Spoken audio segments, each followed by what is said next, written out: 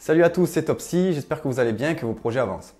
Alors, vous avez été nombreux à me demander comment faire l'électronique de sa CNC faite maison et c'est ce qu'on va voir dans cette vidéo. Avant de commencer, je précise quand même qu'on ne va pas rentrer dans tous les détails des fonctionnalités et du paramétrage de l'électronique que je vais vous présenter. Je vais juste vous montrer les bases fondamentales pour savoir faire son électronique fonctionnelle. Allez, c'est parti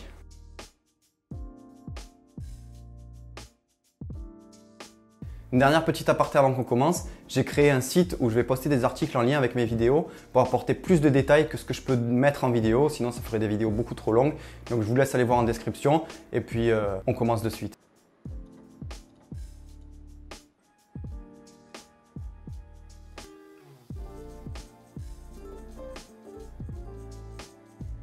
Donc on va commencer par faire un tour du matériel dont on va avoir besoin. Donc l'électronique que je vais vous présenter, elle se base sur un Arduino Uno sur lequel on va venir monter un CNC Shield. Donc un CNC Shield, c'est quoi? C'est juste un circuit imprimé euh, qui permet d'éviter ce genre de montage qui est long et fastidieux et qui n'est pas du tout viable dans une utilisation réelle. Donc en fait, c'est pas résistant aux vibrations, c'est pas résistant à la poussière, c'est compliqué à intégrer dans un boîtier, euh, on a des courts-circuits de partout, c'est pas viable. Donc on va partir sur un CNC Shield. Pour la motorisation, on va utiliser des moteurs NEMA 17. Donc c'est des moteurs qui sont utilisés dans 99% des CNC grand public ou même des imprimantes 3D. Donc ce sont des moteurs pas à pas, 200 pas par révolution. Donc en fait, ça veut dire qu'ils vont faire 200 petits crans pour faire un tour complet. Voilà. Donc ce ne sont pas des simples moteurs qu'on branche sur le courant et qui se mettent à tourner comme par magie. C'est des moteurs qui ont besoin de petites impulsions et qui vont venir faire un cran à chaque petite impulsion. Voilà. Donc c'est comme ça qu'on va pouvoir contrôler leur vitesse et leur sens de rotation. Ensuite, pour piloter ces moteurs, on va avoir besoin donc, de driver moteurs. Eux, ce qu'ils vont faire, leur rôle, ça va être de convertir les ordres de rotation provenant de l'Arduino, donc de l'électronique, en impulsions électriques assez puissantes pour faire tourner le moteur. Donc on a deux références de driver moteurs très connues. On a les DRV 8825 que j'utilise et les A4988. Alors, chacun a sa particularité. Moi, je préfère les DRV 8825 parce que de 1, ils acceptent plus de courant, donc on va pouvoir mettre des moteurs un peu plus gros ou les faire forcer un peu plus sans griller le driver. Et ensuite, ils vont monter beaucoup plus haut en micro-stepping. Pour ceux qui ne savent pas ce que c'est le micro-stepping, je reviens un peu plus tard dessus dans la vidéo, vous allez voir, c'est très intéressant. Et enfin, pour alimenter tout ça, on va avoir besoin d'une alimentation. Donc moi, j'utilise des alimentations 12 volts 5 ampères, ça fait à peu près 60 watts. Mais en vérité, on pourrait prendre une alimentation, je pense, aux alentours des 30 watts, parce que chaque moteur consomme à peu près 5 watts. Si on a une machine qui a 4 moteurs, on va être aux alentours des 20 watts. On compte un peu de marge pour l'électronique, un peu de marge pour le démarrage des moteurs, etc. Donc comptez 30 watts. Moi j'utilise ce type d'alimentation là, c'est des 12 volts 5 ampères. Elles sont très bien, elles sont largement suffisantes pour mon utilisation. Donc maintenant qu'on a fait un peu le tour du matériel dont on va avoir besoin, on va passer sur l'ordinateur pour installer les logiciels et programmer l'Arduino correctement. Donc le premier logiciel à installer, c'est l'IDE Arduino. Pour ceux qui n'ont jamais fait d'Arduino, l'Arduino IDE, en fait, c'est l'environnement de développement Arduino qui va nous permettre de programmer notre carte Arduino. Donc là, je vous mets le lien en description. Vous venez ici, vous sélectionnez votre système d'exploitation. Si vous avez une petite page dedans, mais vous n'êtes pas obligé de payer, vous pouvez le télécharger gratuitement. Une fois que vous l'avez téléchargé, vous l'installez et on se retrouve juste après. Donc maintenant qu'on a l'IDE Arduino installé, quand on l'ouvre, on devrait arriver sur cette page ici quand on va dans Outils, on peut voir que le port est grisé. C'est parce que notre carte Arduino n'est pas branchée. Donc maintenant, ce qu'on va faire, c'est qu'on va brancher la carte Arduino.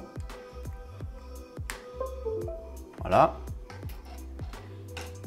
Quand on revient dans Outils, on voit que le port s'est dégrisé et on a une carte qui est reconnue. Donc on vient la sélectionner. Voilà. Comme 7. On vérifie que le type de carte c'est le bon. Voilà. Maintenant qu'on a vérifié que l'IDE est capable de reconnaître votre carte Arduino, on va pouvoir mettre un programme dessus. Le programme en question, c'est GRBL, qui est le programme le plus utilisé dans les CNC grand public. C'est un programme qui est open source, donc gratuit. Donc on va pouvoir aller le télécharger, je vous mets le lien en description. Donc ici sur cette page, on va venir cliquer ici sur source code.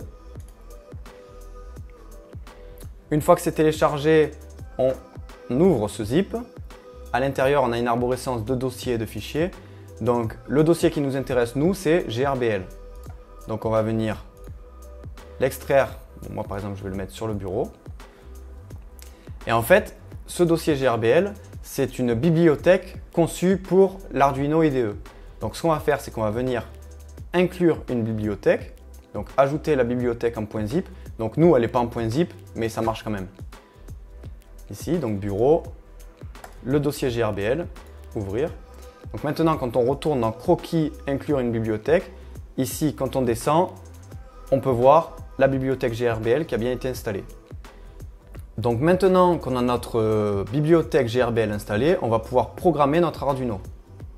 Donc pour programmer notre Arduino, ce qu'on va faire, c'est qu'on va aller ouvrir le projet qui est fourni avec GRBL, qui est un projet Arduino. Ouvrir. Donc on va dans le dossier de GRBL qu'on a téléchargé et installé en tant que bibliothèque, on a un sous-dossier exemple, GRBL Upload. Et quand on va dans GRBL Upload, ici on a un projet, donc vous voyez, il y a un petit icône qui dit que c'est un projet Arduino. Donc on va l'ouvrir. Voilà, ça nous ouvre une autre fenêtre. Donc dans cette fenêtre-là, on va vérifier quand même qu'on a le bon port de notre Arduino. Et une fois qu'on a vérifié qu'on avait le bon port de notre Arduino, que le type de carte c'était le bon, on va pouvoir venir cliquer sur la flèche ici, téléverser. Donc attendez, je vais ouvrir la console pour qu'on voit bien. En cliquant sur téléverser, on va écrire le programme sur la carte Arduino. Donc c'est parti, on va cliquer. Là on voit compilation du croquis. Et là, téléversement, c'est en train d'écrire. Maintenant que le téléversement est terminé, la carte Arduino est programmée, sauf qu'on n'a aucun moyen de le vérifier ça. Donc pour vérifier qu'elle est bien programmée avec GRBL, ce qu'on va faire, c'est qu'on va utiliser un troisième et dernier logiciel qui s'appelle CNCJS. En fait, ce logiciel-là, il va vous permettre de piloter votre CNC, il va vous permettre de euh, programmer, de régler votre CNC, de régler les paramètres de GRBL, etc. Donc, c'est un logiciel essentiel pour l'utilisation d'une CNC. Donc là, je vous pareil, je vous mets le lien dans la description. Vous téléchargez la version qui correspond à votre système d'exploitation. Une fois que vous avez téléchargé et installé CNCJS, vous arrivez sur cette interface. Donc ici, pareil, vous avez le port de communication. Donc là, on va sélectionner la carte Arduino. La vitesse de transmission, on la laisse à 15200. Euh, je ne vais pas rentrer dans les détails là-dessus, mais ici, on a besoin d'une communication à 15200. Et ensuite, on clique sur Ouvrir. Ici, vous voyez, on a tout un tas de paramètres qui sont apparus dans la petite console noire là, avec marqué OK à la fin. Si vous avez tous ces paramètres là, donc on va l'ouvrir en plus grand pour qu'on voit bien. Si vous avez tous ces paramètres là et que vous remontez, vous pouvez voir ici GRBL 1.1. Vous vérifiez que c'est la version de GRBL que vous avez installée. Tous ces paramètres sortent de la carte Arduino. Si vous avez tout ça qui s'affiche, c'est que votre carte Arduino est bien programmée et on peut passer à la suite. Voilà, on vient d'installer les logiciels et programmer le Arduino correctement. Vous avez vu, il n'y a rien de compliqué à ce niveau-là. Alors, avant de passer au montage, je vais vous reparler du micro-stepping. Alors, le micro-stepping, c'est quoi? C'est le fait de multiplier artificiellement le nombre de pas d'un moteur. Donc, par exemple, un moteur qui fait 200 pas, avec un micro-stepping de 4, il va faire 800 pas. Avec un micro-stepping de 8, il va faire 1600 pas. Donc, vous voyez qu'à chaque fois, on augmente énormément la précision qui est capable d'atteindre le moteur. Et donc, par conséquence, la précision qui est capable d'atteindre notre machine. Donc nous, nos drivers, ils sont capables d'atteindre 16 micropas. Et dans le cas du DRV 8825, c'est pour ça que je le préfère, il est capable d'atteindre 32 micropas. Donc vous voyez qu'on a atteint des précisions assez phénoménales. Donc c'est ce qu'on cherche nous sur nos machines CNC. Pour sélectionner le micro-stepping que l'on veut sur une CNC Shield, on va pouvoir venir placer des jumpers sous le driver moteur. Donc on va en placer de 0 à 3. Plus on en met, plus on augmente le niveau de micro-stepping. Donc je vous mets dans l'article sur mon site un tableau de correspondance sur combien de jumpers égale à combien de micro-stepping pour chacun des drivers moteurs que je vous ai présentés. Une fois qu'on a mis les jumpers de sélection du micro-stepping, on va pouvoir placer le driver moteur sur son emplacement. Donc là, attention à bien placer la pin Enable du driver moteur sur la pin Enable du CNC Shield.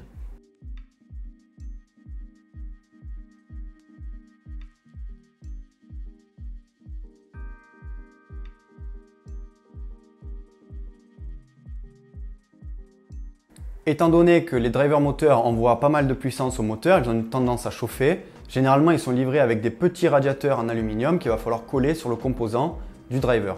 Vous l'avez sûrement remarqué, mais à côté de chaque emplacement de driver, on a l'intitulé de l'axe qu'il va piloter.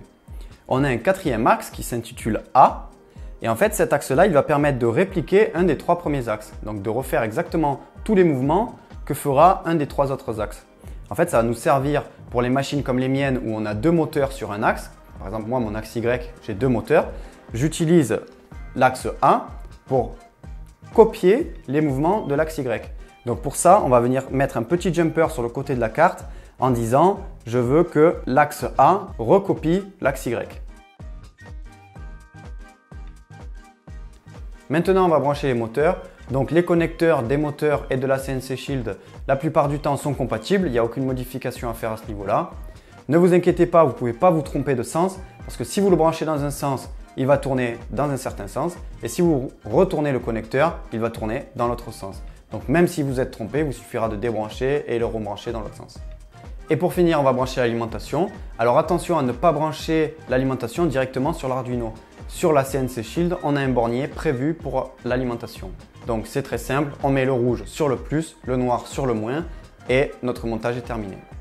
Maintenant, on va retourner sur l'ordinateur et passer au paramétrage de GRBL. Voilà, donc on se retrouve à nouveau sur CNCJS. Donc comme tout à l'heure, on va ouvrir le port de communication. Une fois que les paramètres se sont affichés, c'est que la carte Arduino et le GRBL ont bien démarré. Donc je vais ouvrir la console en grand qu'on voit bien. Donc là, je vais vous présenter quelques paramètres hyper importants pour euh, avoir une CNC qui est utilisable. Donc le premier paramètre hyper important, euh, c'est le paramètre $1, donc c'est le paramètre 1, qui est le, set, le Step Idle Delay. Donc ça, c'est le délai après lequel le moteur va s'éteindre. Donc en fait, un moteur qui est éteint, en fait, il est comme ça. Voilà, on le voit, on peut le bouger à la main, il est tout mou. Voilà. Donc ça, le problème, c'est que quand la machine est en train d'usiner quelque chose, par exemple, et qu'elle vibre, si le moteur bouge et qu'une fois qu'il a fini de bouger, il s'éteint, eh bien, elle risque de se décaler toute seule, la machine. Donc en fait, il faut dire à GRBL de ne jamais éteindre ses moteurs pour qu'il reste tout le temps en prise et bien dur. Donc là, par exemple, regardez, il est tout mou. Donc là, on va mettre ce paramètre-là paramètre -là, pardon, à 255. 255, ça indique à GRBL euh, de jamais éteindre les moteurs. Donc en fait, c'est un temps infini. Donc c'est de, de 0 à 254, c'est un temps euh, après lequel le moteur va s'éteindre. Et à 255, GRBL considère qu'il les éteint jamais. Pour lui, c'est l'infini. Donc voilà, donc là j'ai mis 255. Maintenant, je peux fermer le port de communication. Je rouvre pour réinitialiser GRBL. Voilà, là on entend, le moteur, il est en prise. Et donc en fait ici, je peux plus du tout le bouger. Même en forçant, il est très dur. Ou alors s'il faut vraiment forcer fort pour le faire bouger. Donc là, on a réglé le premier paramètre qui est hyper important. Donc on a encore trois paramètres hyper importants à voir. Je, je remets en grand. Donc le premier paramètre à voir, qui est super important, c'est le nombre de pas par millimètre. Donc ça, ça va être calculé en fonction du nombre de pas de base de votre moteur, du micro-stepping que vous utilisez et du système de guidage que vous utilisez.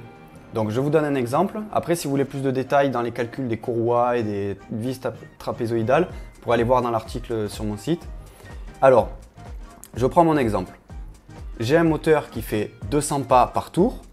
J'utilise un micro-stepping de 4. C'est un exemple, hein, on ne va pas faire le calcul avec 32. Donc j'utilise un micro-stepping de 4. Donc ça me fait 800 pas par tour. J'utilise des vis trapézoïdales pour déplacer mes axes qui font que quand la vis fait un tour complet, le chariot se déplace de 8 mm. Donc en fait, quand le moteur fait un tour, le chariot se déplace de 8 mm. Donc, le calcul est facile. J'ai 800 pas en comptant le micro-stepping que je divise par 8 mm pour rapporter un millimètre. Donc 800 pas divisé par 8, on obtient 100 pas par millimètre. Donc là, je vais indiquer à GRBL que mes axes, ils se déplacent de 1 mm tous les 100 pas. Donc je lui dis $100 sur l'axe X égale 100 pas. Voilà, bon, on va dire que j'ai tous les axes qui sont pareils. Donc le 101, c'est l'axe Y égale 100 pas. Et le 102, c'est l'axe Z égale 100 pas aussi. Donc là, on a donné à GRBL le nombre de pas dont on a besoin pour se déplacer de 1 mm. Il nous reste à voir deux paramètres très importants. Donc le premier, c'est euh, le paramètre de vitesse maximale, donc maximum rate ici. Il est exprimé en millimètres par minute. Donc euh, c'est combien de millimètres va parcourir votre machine en une minute. Donc euh, ça, c'est très lié à votre machine. Donc plus elle va être lourde et plus son système de guidage va être lent, moins vous pourrez atteindre des vitesses grandes avant que le moteur euh, cale, quoi, avant que le moteur broute. Pour vous donner un exemple, sur ma machine qui est assez grosse, assez lourde et qui est guidée par des vis trapézoïdales, donc c'est pas le système de guidage le plus rapide, euh, j'étais de l'ordre, j'atteignais des vitesses de 2000 ou 3000 mm par minute. Donc là on va le régler, loire 110, donc c'est égal 2000. Oui, donc je ne l'ai pas précisé, mais euh, les, paramètres de vitesse, c'est cela, hein, le 110, 111 et 112. Et ensuite, le deuxième paramètre important à connaître, c'est le facteur d'accélération. Donc en fait, le facteur d'accélération, il va définir euh, en combien de temps votre machine va atteindre sa, vitesse maximale. Donc c'est comme une voiture, quand on accélère, elle passe pas de 0 à 100 en 0 secondes. Elle a un facteur d'accélération. Donc là, vous pouvez régler le facteur d'accélération, sachant que c'est toujours pareil, c'est très lié à votre machine. Plus votre machine va être lourde, plus elle va être difficile à mettre en mouvement et donc plus le facteur d'accélération va être, euh, vous, allez devoir le mettre bas parce que si vous le mettez trop haut, vos moteurs vont forcer directement d'un coup et en fait comme votre machine est trop lourde, ils vont caler. Donc ça, il va falloir que vous fassiez des tests pour savoir quelle valeur d'accélération vous pouvez utiliser. Sachant que les, facteurs d'accélération, euh, ils vont être aussi différents en fonction des, applications. Si vous faites de la gravure laser, eh bien, vous pourrez accélérer beaucoup plus fort parce qu'il n'y a aucune contrainte sur euh, la tête. Mais par contre, si vous faites de la découpe de bois, ben, vous ne pourrez pas atteindre des accélérations très grandes. Donc moi, euh, d'expérience, sur ma machine qui est encore une fois assez lourde et assez imposante, j'utilisais un facteur d'accélération de 200. Donc en fait, plus le facteur d'accélération est faible, plus votre machine va mettre longtemps à atteindre sa vitesse maximale. Donc là, 50, c'est assez peu. Donc moi, sur une machine comme la mienne, qui est euh, guidée par des vis et qui est assez lourde, j'atteignais quand même du 200. Euh, J'arrivais à mettre 200 en usinant du bois. Donc euh, ça va. Donc une fois qu'on a réglé ces paramètres, on va pouvoir faire des essais de, rotation de ces moteurs. Donc là, moi j'ai branché que le moteur X. Donc là, il suffit d'aller sur le panneau ici à droite. Vous avez les petites flèches. Donc je vais cliquer sur X. Et regardez bien,